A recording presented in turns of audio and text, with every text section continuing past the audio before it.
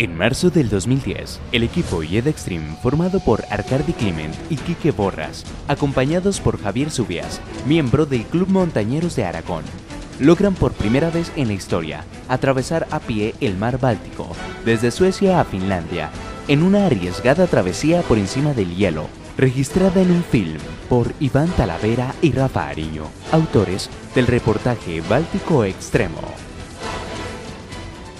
Dos equipos en una sola misión, recorriendo 140 kilómetros, en un viaje que será por tierra y aire.